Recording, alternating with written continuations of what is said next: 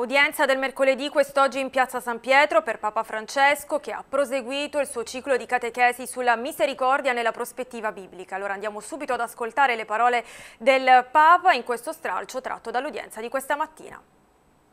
Nella Sacra Scrittura la misericordia di Dio è presente lunga tutta la storia del popolo di Israele.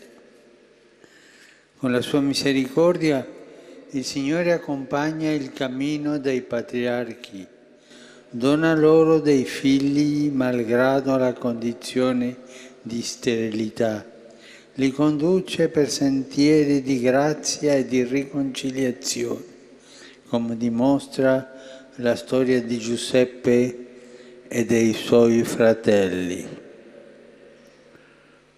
Eh, penso a tanti fratelli che sono allontanati in una famiglia e non si parlano. E... Ma quest'anno della misericordia è una buona occasione per ritrovarsi, abbracciarsi e perdonarsi, eh? dimenticare le cose brutte. Il Dio di misericordia risponde e si prende cura dei poveri, di coloro che gridano la loro disperazione Dio ascolta e interviene per salvare, suscitando uomini capaci di sentire il gemito della sofferenza e di operare in favore degli oppressi.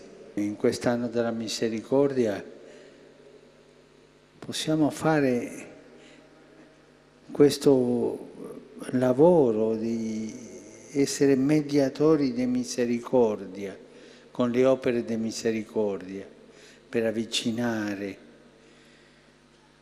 per dare sollievo, per fare unità, tante cose buone si possono fare. E tutto il contrario de, dell'opera di quelli che agiscono sempre per uccidere, per esempio quelli che fanno le guerre.